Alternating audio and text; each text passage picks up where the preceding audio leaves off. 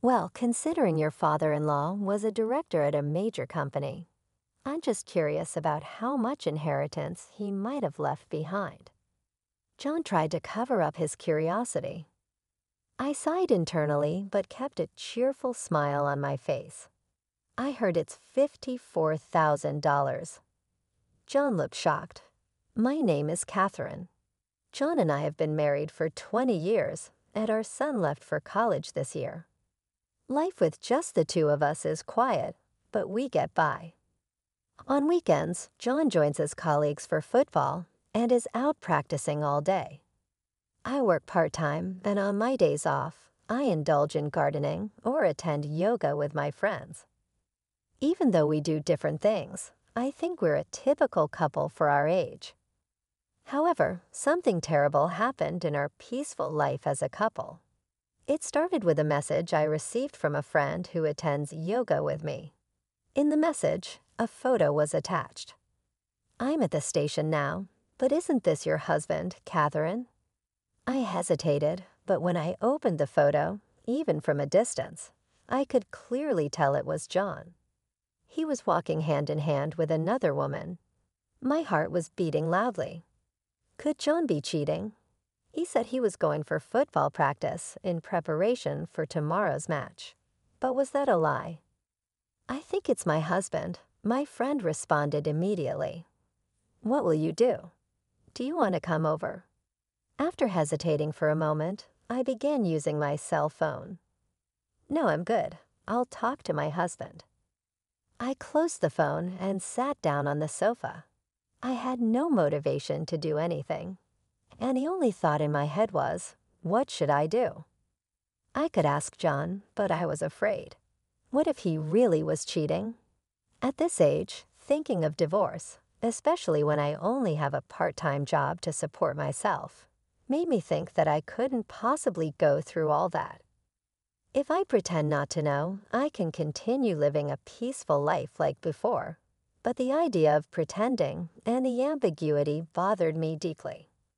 I don't know how long I sat like that, but I was jolted back to reality by the sound of the front door. It was already seven in the evening. What's wrong? Why haven't you turned on the lights? John said, turning on the lights in the living room with a surprised voice. Oh, sorry, I fell asleep, I said. John laughed in disbelief and began washing his uniform in the washing machine. Seeing that, I realized he must have been exercising and wondered if the earlier photo might have been a mistake. If you're tired, do you want to eat out tonight? I asked eagerly, hoping that spending time together would help ease my uneasy feelings. Did you stop by anywhere else today besides football? Not really. Why? Just wondering. You mentioned wanting new shoes recently, so I thought you might have gone shopping for them. Oh, I haven't bought them yet. With that, our conversation ended, but the John in front of me seemed just like he has been as usual. They say everyone has at least three doppelgangers in the world. Perhaps the man in the photo was one of them. However, once I began to suspect him, it was difficult not to. I often found myself doubting him during his late night overtimes or sudden overnight business trips. Bad things do happen, and one day, on my way home from my part time job, I stopped by the supermarket to buy ingredients for dinner. I realized my phone was ringing, so I took it out of my bag and stepped into a less crowded aisle. The name displayed on the screen made me frown. It was my brother's name. Though I occasionally communicated with my sister in law during events like our children's enrollment to their school or their graduation, I hadn't spoken to my brother in years. These sudden phone calls from your own relatives are often not good news. Hello, I answered the call hesitantly. What I heard from my brother was that our father's health was getting worse. He had suddenly collapsed at work and was taken to the hospital. After some detailed exams, they were told he didn't have much time left. My mother had passed away from an illness a few years ago, and although my brother and his wife had offered to live with our father after that, he refused and lived alone seemingly in good health. The last time I spoke to him, he sounded fine, so this news was really surprising. After telling my brother I would visit soon and hanging up the phone, I took a deep breath to calm my heart. When I told John, who came home from work that night, he looked really sad. I see your father. Don't worry about here. You should go see him, he encouraged. Motivated by his words, I went to see my father the next day. Dad, what happened? Are you okay? Oh, Catherine, I suddenly felt dizzy and couldn't get up. It can't be old age, I guess.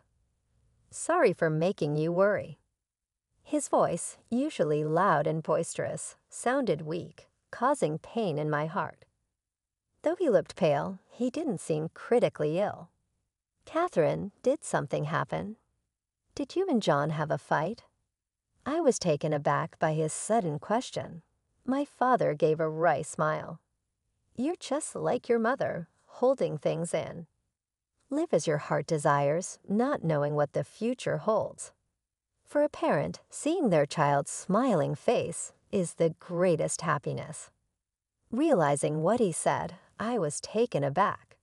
Although I wanted to talk to my father a little longer, he told me he was tired, so I decided to leave for the day.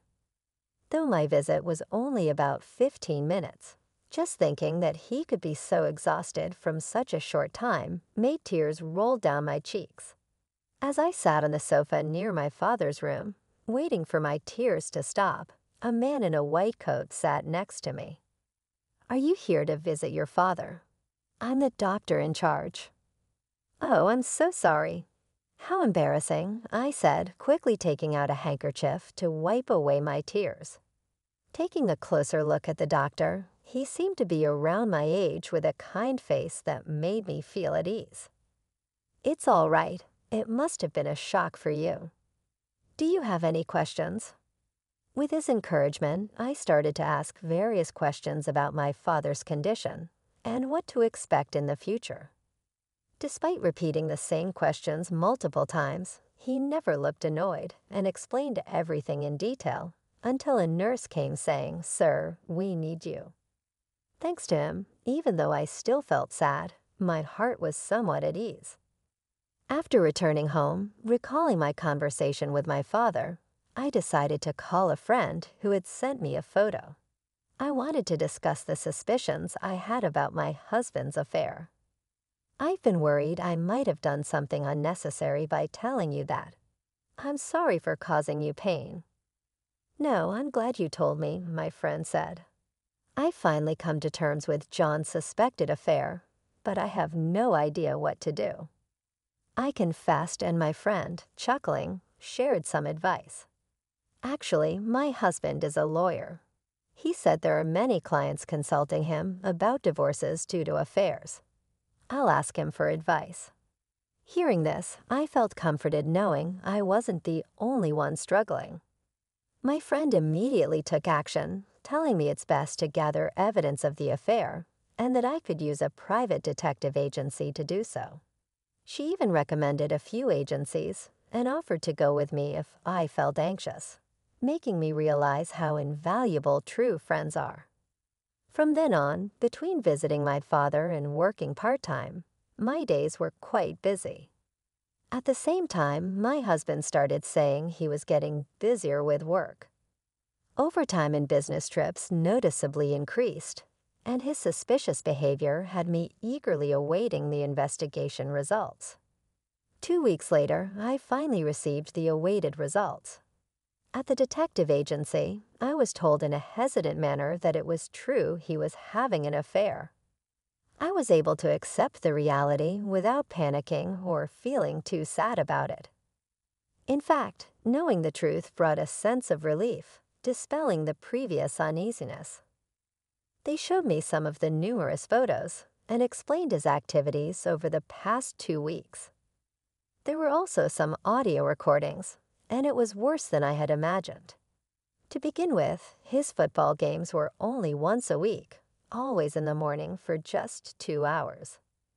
The other employees always headed home right away after the game since they had families waiting at home. He spent all of his remaining time with his mistress. At times, she would even wait for him at a diner near the football court. He deliberately washed his jersey he falsely claimed he used at the game to ensure his lie wasn't caught. All his claims of overtime and business trips were lies made up just to spend time with her. The most shocking audio recording revealed him discussing with his mistress about getting a divorce from me once he inherited his money, predicting his father in law would pass away in a month or so they had also discussed pre booking an apartment near the train station. It seemed that his recent business was related to preparing for their new life together, making reservations for furniture and appliances. They even planned a premarital trip next month. All this left me feeling dizzy.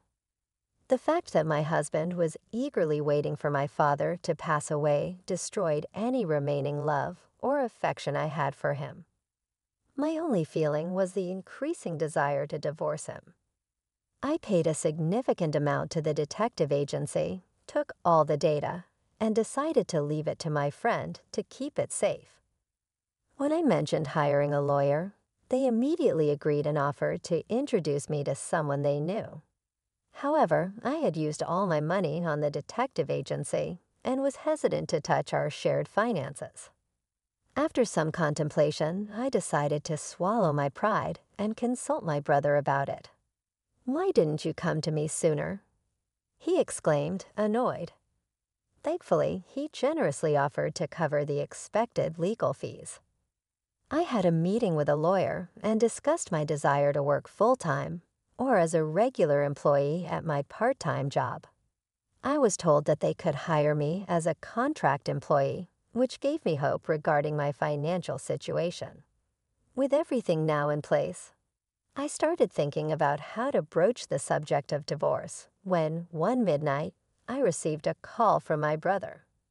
He was calling to tell me that our father had passed away. I woke up John and we rushed to the hospital. John briefly visited my father, greeted my brother and his wife, and said some comforting words to me. He then returned home by himself. Everything after that happened so quickly that I can hardly remember. There was the wake, the funeral, and meeting our relatives. I had no time to grieve. Even after the funeral, there was the matter of sorting out the house, discussing inheritance, and handling the legal aspects of my father's estate. My brother, his wife, and I were all exhausted. John, however, kept saying he was busy with work and didn't help at all. Despite my father having just passed away, John went out to play football on the weekend. My brother and his wife were visibly frustrated, but refrained from saying anything because they knew about my intention to divorce him. With so much going on, I had to postpone the divorce. It wasn't until about six months later that things took a major turn. Finally, all procedures related to my father were completed, and the inheritance amount was confirmed. By the way, has your father's inheritance come through yet? It's scheduled to be transferred tomorrow. Why do you ask? Well, your father was a director of a major company. I was just curious about how much inheritance he'd leave behind. John tried to sound casual, but I sighed internally.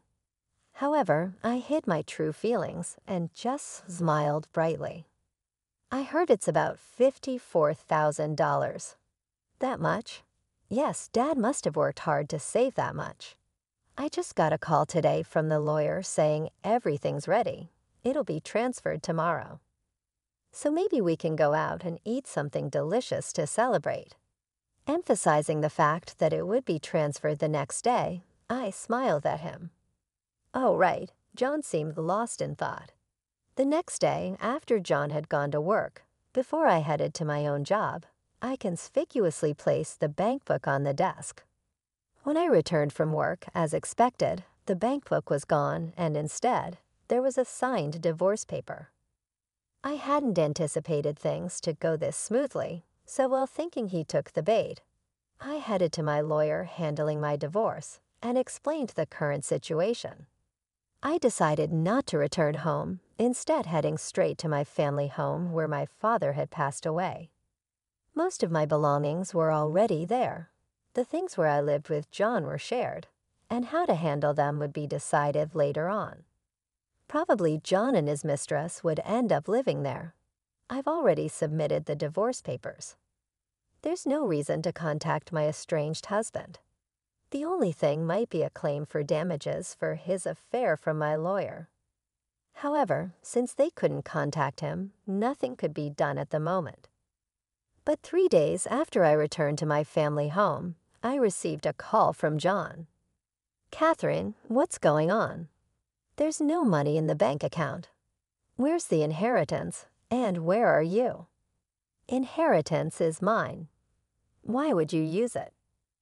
I decided to play down for the time being by asking about my whereabouts. It seems John has returned to our home. I need to contact my lawyer immediately. Anyway, why isn't the $4,000 in your bank account? Did you take my bank account? I was planning to change the account for my salary deposit, but it disappeared. I've been looking for it. Don't mess with me. We're married. It's a shared asset. You should share it with me. I wish you wouldn't yell over the phone. It hurts my ears. The inheritance is an individual asset, not a shared asset. Plus, I've already filed for divorce. We're no longer a married couple. Please stop contacting me. I won't return home. It's okay for you to live there with your mistress. Goodbye. I could hear John catching his breath, but I hung up on him and immediately relayed John's whereabouts to the law firm. That night, I received several calls from John, but I ignored them all and enjoyed a drink by myself. Having endured the suspicions of John's affair for almost a year, I deeply appreciated the peacefulness I was experiencing. After a good night's sleep and checking my phone, I was shocked at the sheer volume of missed calls. I assumed my lawyer must have contacted him, causing him to panic. Hesitantly, I checked the messages. Some were aggressive, like, What do you mean by damages for the affair? If you knew, you should have said so. Others were apologetic. Catherine, I'm sorry. It was my fault. I want to talk things over. Without replying, I left my phone behind and headed to work. In my bag was a new phone, a number John wouldn't know. This would be my main phone from now on. I had John's personality figured out, so I was well prepared. Later, my lawyer informed me that John insisted on discussing this face to face, so I decided it was time for a confrontation. I expected this and felt it was better to settle matters swiftly. I chose a family restaurant with semi private booths for our discussion to avoid any public attention. As expected, John and his mistress arrived on time. Seeing John after months, he looked somewhat tired. Was it just my imagination? I had seen photos of his mistress, but was meeting her in person for the first time. She had her hair up in a bun and wore casual clothes. Her youthful face made me think she was a student, but I knew from my investigation that she was 25 and worked at a cake shop. I couldn't comprehend what such a cute girl saw in a 50 year old man. Catherine, what's going on? There's no inheritance, and now a claim for damages. I'm completely lost. But both my lawyer and I couldn't help but chuckle at John's words. The inheritance is what my father left for me. John, you have no right to it. As for the damages, it's because our divorce is due to your affair, and you too owe compensation for the pain you caused me. It's not about the affair, it's due to our incompatible personalities. Besides, it wasn't you who brought up the divorce. I did. So the affair doesn't matter. Hearing such nonsense makes me want to pull my hair out. I knew he wasn't the brightest, but I didn't expect him to lack basic common sense to this extent.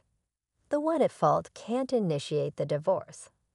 It's not about who brings it up first, it's about you having an affair. If that's true, you understand that you're in the wrong, right? Also, I'll be demanding compensation from her too. What? Why me? Despite her cute appearance, she sounded very defiant and sharp. Is that true? John looked at the lawyer as if he was clinging on to hope.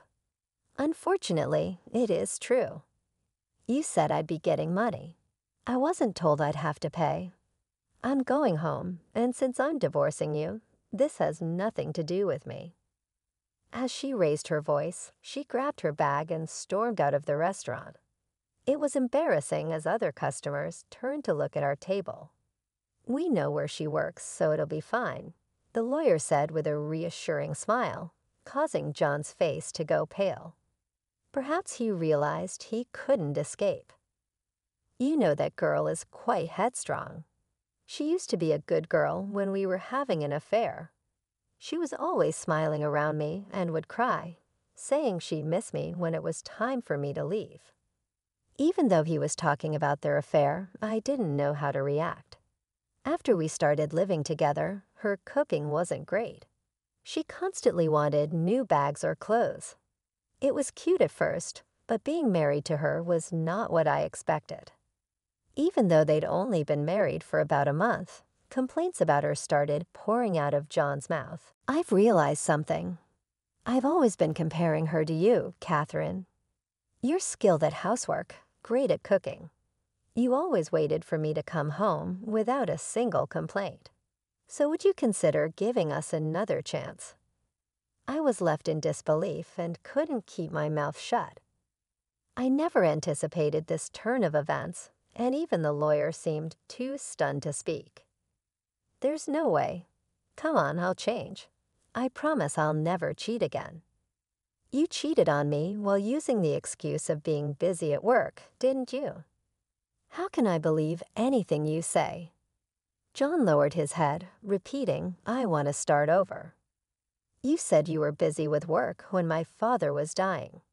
He was in critical condition for about a month, but you never visited him even once. Even though I was having a difficult time, you were cheating. After he passed away, were you just waiting for the inheritance? I noticed our drawer being opened several times where we'd put our bank book in. You probably planned to leave once the inheritance came in, right, with the divorce papers already filled out. As I listed each fact, John began to tremble. He probably never thought he'd get caught. You had a reservation to buy a nice apartment already, right? But unfortunately, since you didn't get the inheritance, you had to cancel. I assume the old house we lived in must have been unbearable for her. How did you know? I asked. I have plenty of evidence, I replied. Are you thinking that if we get remarried, you won't have to pay the compensation? With that, John got silent. I must have gotten him, huh? Realizing he was only after my money made me really sad and disappointed. If there's nothing more to discuss, I'm leaving. Wait, John grabbed my arm as I tried to leave. Catherine, you're the most important thing to me. Please, I beg you, let's start over. John's eyes were filled with tears. I'll never betray you again, and I'll do all the chores. Please come back to me. Unable to contain his emotions, John began to sob uncontrollably. Come on, don't make a scene. Aren't you and your mistress Nuliut why don't you two sort things out? Let's just move on with our separate lives. Turns out she's been cheating on me. She seems to have married me for my money. Without money, I'm just an old man. Seeing my ex-husband crumbling to the floor crying was undeniably pathetic, but I felt no obligation to comfort him. People seemed to have heard our conversation, and it was painfully embarrassing to witness everyone whispering about John. Leaving my crying ex-husband behind, I picked up the bill and my lawyer and I left. Later, as the two of them adamantly refused to pay compensation, I consulted with John's parents over the phone. Having little interaction with the rather shy in-laws who lived far away, this was my first call to them since thanking them for attending my father's funeral. To my surprise, I discovered John hadn't told his parents about our divorce or his remarriage to his mistress. This revelation left his parents in shock, with my ex mother in law being bedridden from the strain. Give us some time.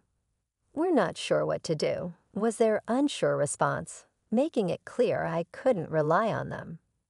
However, the next day, my father in law brought his brother to confront John. His brother, compared to John, was a lively, talkative, and cheerful man. John had often grumbled to me about how intimidating he was during family gatherings. Whatever transpired, his strong willed brother made John agree to the compensation payment. Then his brother decided John would be taken back to the countryside. Tearfully, my father in law informed me of this decision. Since both in laws were over 80 and had no income, they promised John would work at a factory owned by a relative nearby and pay me the compensation. As for John's mistress, her whereabouts were unknown. But since her workplace was known, they contacted her there.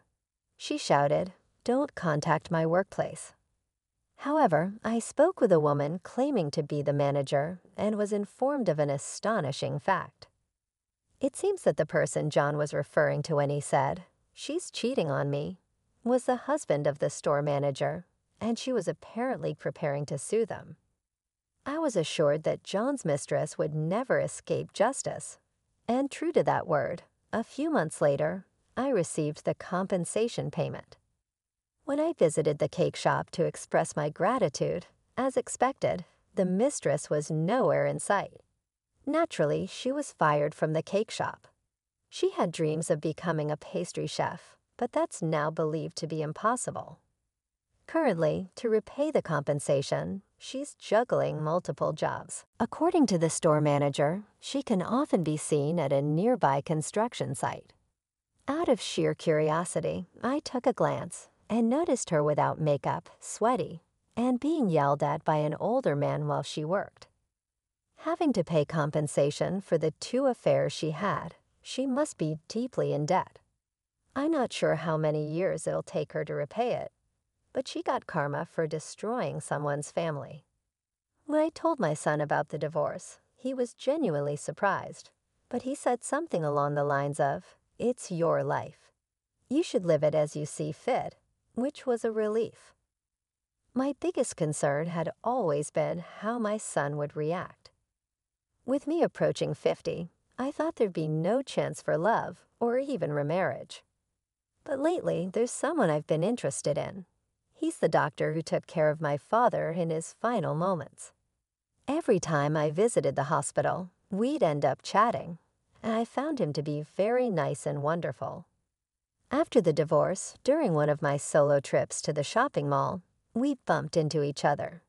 In our conversation, I discovered that he was also divorced. We connected even more over our similar experiences. We've been out for meals a couple of times, and I always feel very comfortable around him. I don't know what the future holds, but I still hope and strive for happiness in my life.